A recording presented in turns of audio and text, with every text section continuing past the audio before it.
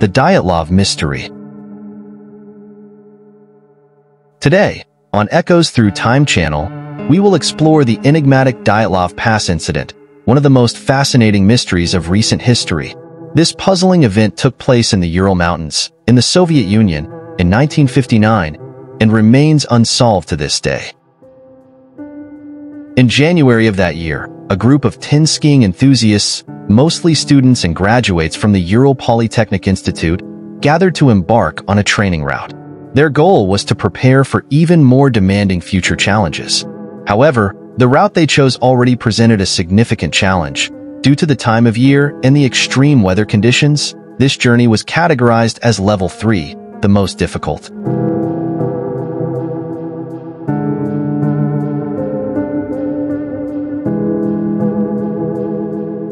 The expedition leader was Igor Dyatlov, a 23-year-old radio engineering student who organized and led the group.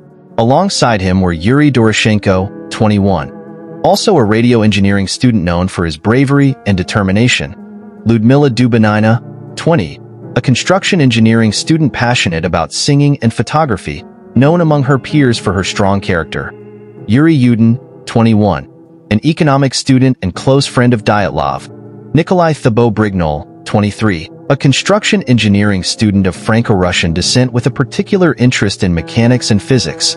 Alexander Kolevatov, 24, a physics and geotechnics student who enjoyed reading and music and had an interest in mineralogy. Rustam Slobodin, 23, a mechanical engineering graduate, a talented athlete and amateur musician known for his physical endurance. Yuri Krivonischenko, 23, a construction engineering graduate working at the Chelyabinsk 40 nuclear plant, and a fan of music and comedy. Zinaida Kolmogorova, 22, a construction engineering student who enjoyed hiking and sports, known for her courage and enthusiasm, and, finally, Semyon Zolotaryov, 38, a skiing instructor and war veteran who joined the group at the last moment, bringing his experience in survival techniques and military training.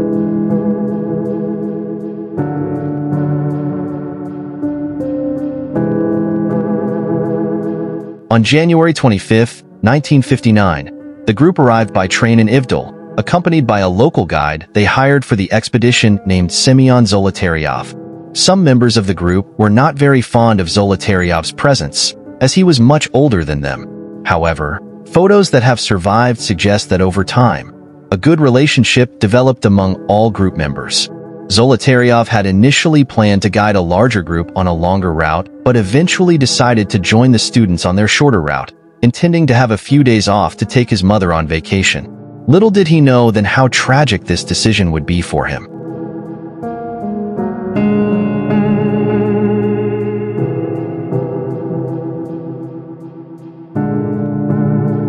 The group, thanks to the offer of a truck driver, headed to Vazai, the northernmost inhabited settlement. From this place, Igor Dyatlov, as the group leader, sent a telegram to his university, saying, We arrived safely, already on the route. He also sent a postcard to his father that read, Hello everyone. Today the 26th we set out on the route, we arrived safely. From February 12th to 15th, I will visit Sverdlovsk. I probably won't come home, so let Rufa bring bedding to our room for a trip to Penza. From there, I'll return from March 5th to 7th. Greetings, Igor. On January 27, 1959, they began their trek towards Otorten, a mountain 10 kilometers north of the incident site.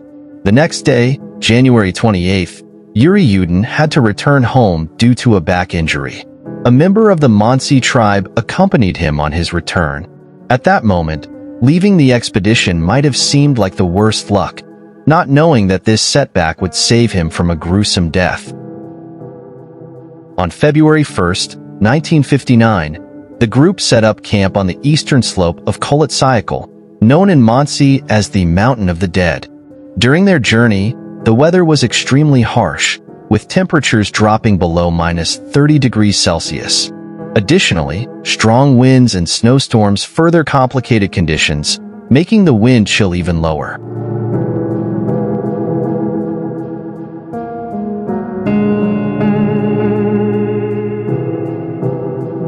Due to these extreme weather factors and poor visibility, they deviated from the route towards the top of the mountain. Realizing their mistake, they decided to stop and set up a temporary camp, hoping for better weather conditions. What they didn't know at the time was that this would be their final resting place. On February 12, 1959, Dyatlov had promised to send a telegram to his university's sports club to keep them informed and at ease. Initially, the delay in receiving news was attributed to possible bad weather and a delay in the expedition. However, after not receiving any news in the following days, on February 20th, family and friends organized a search. A telegram sent by the sister of one of the hikers to another relative reached the Kremlin, prompting government intervention. On the 23rd, Soviet police and military, equipped with helicopters and planes, began the search. They headed to the mountain where the expedition was supposed to be camped according to their route chronology. However, they found no one or anything indicating they had reached that place.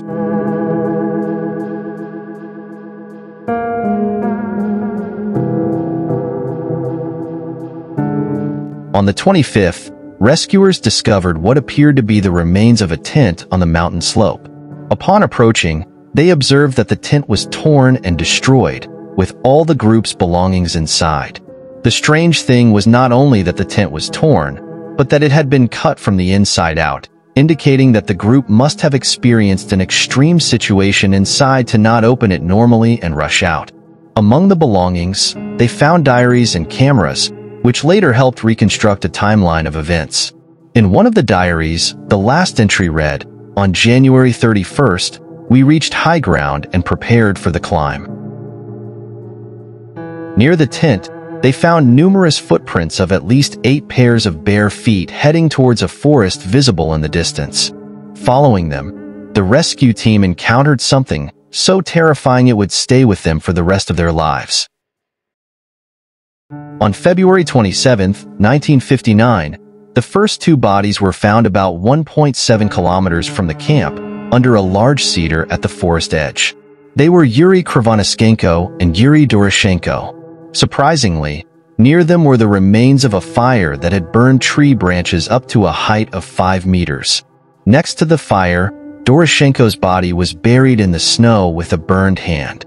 Near him, Krivonischenko, with his right foot bare and a torn sock on the left, had torn skin on his hands and fingers and deep lacerations on his right shin. Rescuers noted that, judging by the tree's condition, the boys had tried to climb, literally tearing their skin on them.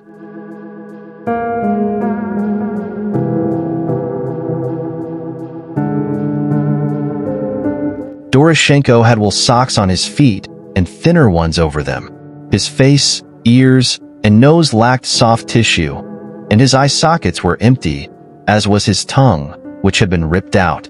Additionally, considering the minus 30 degree temperatures, it was disturbing that they were in their underwear. That same day, about 300 meters from the fire and towards the tent, Igor Dyatlov was found face up, with an unbuttoned jacket, a bluish face, a short-sleeved vest belonging to Krivonischenko, ski pants, and only socks on his feet. His watch had stopped at 3.31. He had many scratches on his right forearm and palm, along with multiple bruises and traumas on his right hand and knuckles, possibly indicating a fight. The fourth body found was Zinaida Kolmogorova, about 600 meters from the fire and face down. Her face and hands were purple. She wore two hats, a long-sleeved shirt, a plaid shirt, and another wool sweater with a torn cuff on her right hand. The next day, February 28th, Rustam Slobodin's body was found about 400 meters from the fire and towards the tent. He wore a long-sleeved shirt, sweater, two pants, and four pairs of socks. His watch had stopped at 8.45. This was the last body found in this expedition. Although the search continued for two more months, they did not find the remaining hikers.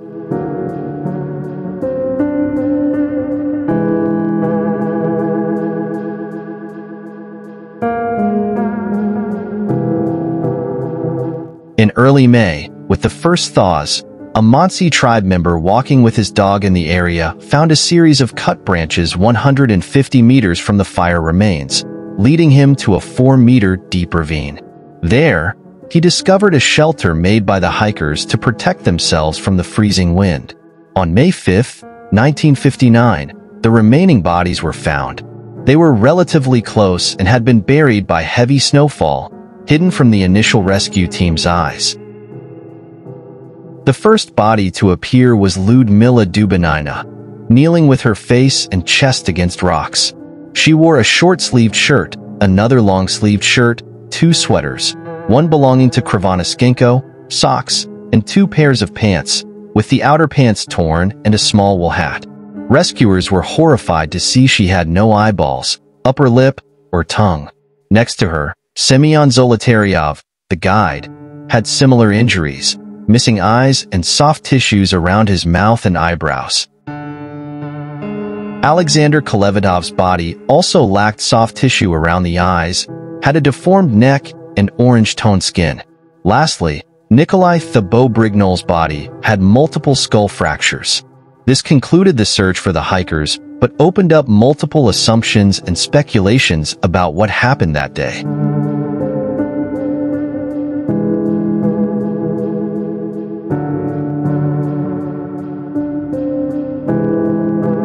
The autopsies revealed shocking details. Igor Dyatlov died of hypothermia, with abrasions on his face and arms, and wounds on his hands, possibly caused by attempting to climb a tree. His bladder contained a liter of urine, nearly three times the normal capacity. Yuri Doroshenko also died of hypothermia, with burns on his head, ear, and foot, injuries on his hands, and bleeding in his mouth, possibly from falls or struggles. Ludmila Dubinina suffered severe internal injuries with multiple rib fractures, the absence of her tongue, eyes, and lips, and injuries to soft tissues. Additionally, she had a broken and crushed nasal cartilage and a red mass of about 100 grams of coagulated blood in her stomach, suggesting she might have swallowed her own blood when her tongue was cut out while alive. Nikolai Thibault-Brignol died from severe head trauma, with a fractured skull and internal injuries without signs of struggle or external wounds. Alexander Kolevatov died of hypothermia and internal injuries, with rib fractures, head wounds, and the absence of soft tissues on his face.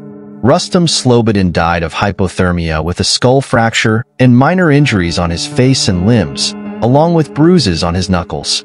Yuri Krivonischenko died of hypothermia, with burns on his leg and foot hand injuries, and a missing nose tip. Part of the skin from his right hand was found inside his mouth. He also had a large amount of urine in his bladder. Zinaida Kolmogorova died of hypothermia, with head and hand injuries and bleeding in soft tissues, indicative of falls or struggles. Finally, Semyon Zolotaryov suffered severe internal injuries with rib fractures, the absence of eyes, and soft tissue injuries.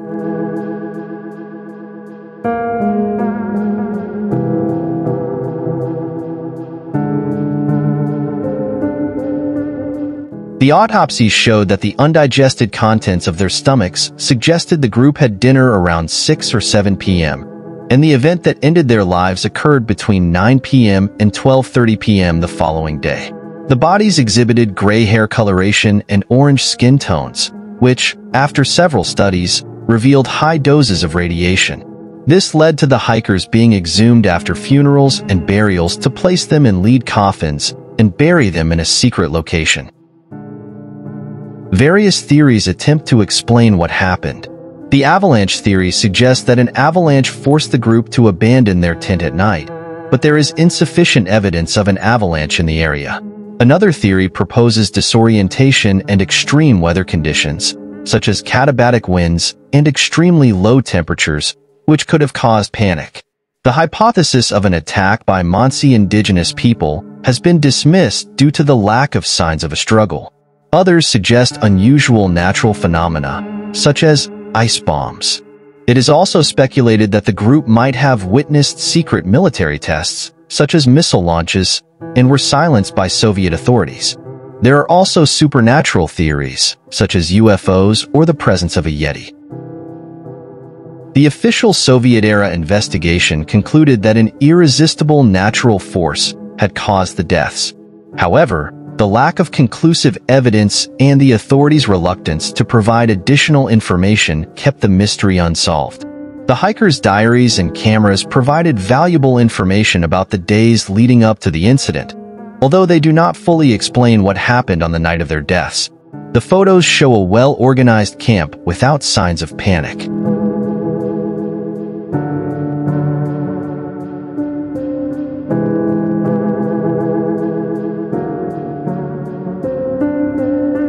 Yuri Yudin was the only member of the Dyatlov group who survived, thanks to a back injury that forced him to return home on January 28, 1959. This fortuitous circumstance saved his life, but also left him with a heavy emotional burden that he carried until the end of his days.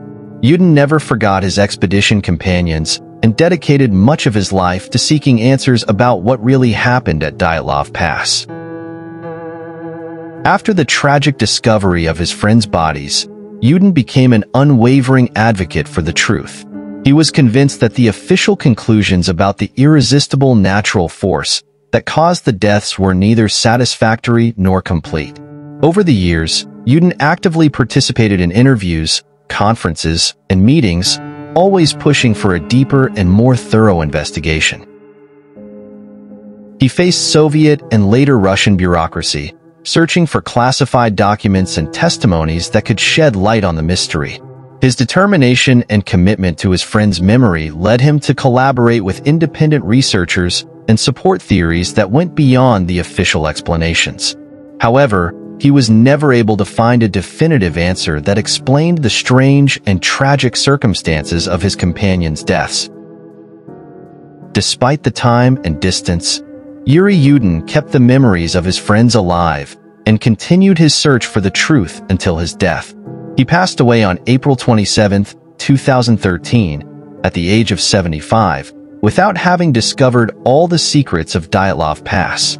His death marked the end of an era in which a direct witness of the Dyatlov group fought for justice and truth. However, his legacy persists in the ongoing search for answers by researchers, enthusiasts, and those interested in one of modern history's greatest mysteries. If you enjoyed this video and want to continue exploring more mysteries and enigmas, don't forget to subscribe to our channel and give this video a like.